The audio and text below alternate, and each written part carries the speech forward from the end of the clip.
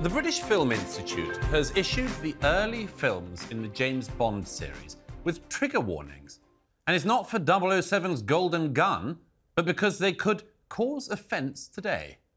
And it's not just James Bond that's been shaken, if not a bit stirred, with woke controversy.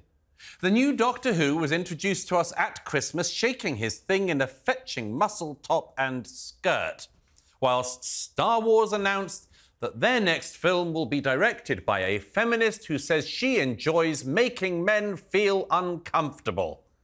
It does really seem like South Park hit the nail on the head with this recent skit.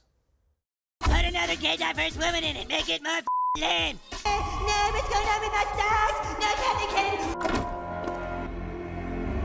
Kennedy. Is there a problem, people? We were just discussing uh, ideas of what to do with the new Prince Eric movie. Put a chick in it. Make her gay. Maybe we should go a different route than we did with Indiana Jones.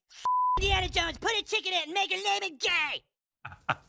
So, is this really the future of what we'll be watching in 2024?